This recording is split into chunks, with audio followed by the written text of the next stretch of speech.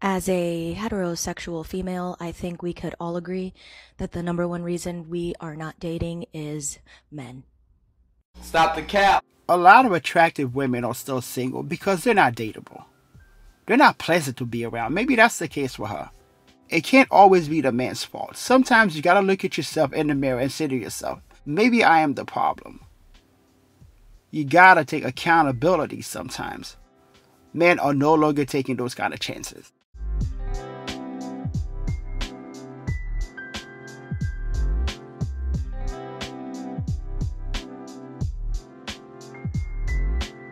Let's give Miss Independent a round of applause.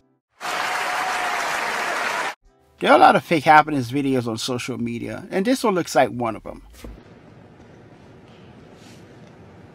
I saw that going differently in my mind. Bruh. Marriage is a game to a lot of those modern women. Let's just see what she's saying about that. It's over, ladies and gentlemen.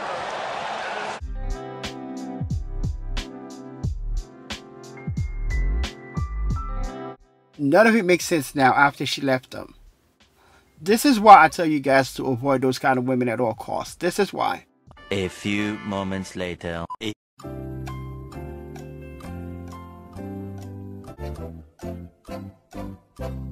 She's right back on the carousel, chasing after Chad or possibly Tyrone and getting her back blown out on a regular basis. Three weeks later.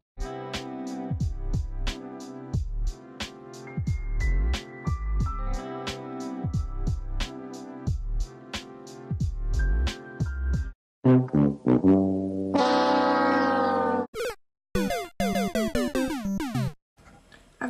been divorced a long time, about seven years now. We don't care. I'm gonna take a guess. She probably initiated this divorce. It's the same story over and over. Let's continue to watch. And I have learned so many lessons. And I would like to save some other people. Ladies, take out your notepads and pens. You're gonna have to listen to this and take notes.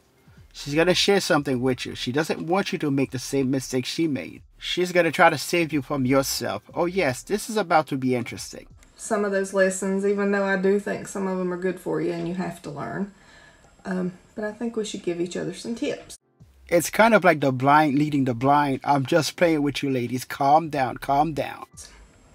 Number one, when you've been married for 20 years and you come out thinking, oh, it's just going to be sunshine and roses. I'm going to find somebody. I'm going to have a new wonderful relationship. Bruh. Mm-mm. No, you're not. If you're gonna leave your husband just to be on a carousel, then you got it. You're gonna get exactly what you want. You're gonna be like a kid in a candy store. That being said, if you're gonna leave your husband, get on the carousel, and expect someone to marry you at some point, then you're sadly mistaken. Because that's not the way it works. It's not gonna happen. This is what a lot of you don't understand. The dating marketplace is not what it's cracked up to be. It's nothing but a banana fest out there. That's all it is. Unless you already had one on the back burner, chances are you're going to find out that people don't date anymore. Not not date date. They might date. So basically, what she's saying is the guy texts you.